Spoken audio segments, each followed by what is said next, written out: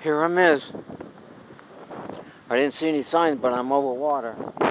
And I don't know if that is a river, a pond. Looks like a pond. Alright, yeah, windy today. Big time. Bringing in something, they said, but it's supposed to miss us by a little bit. Yeah, just by a little bit. You know, over towards Hartford, maybe. Look at the trees. Yeah, I coming down sideways on one of the roads that had open field to my side. All right, I got metal. I'm going to use both hands on his bike today.